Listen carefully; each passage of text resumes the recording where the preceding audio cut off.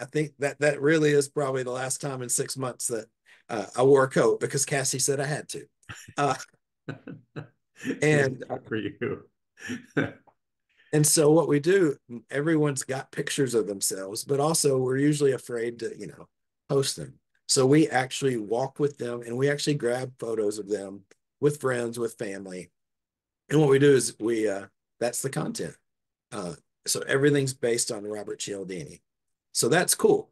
We built their database for them automatically and we built their content for them automatically. That's an amazing amount of work. I mean, that to me, sitting here, I'm thinking, good gosh, you're saving them time.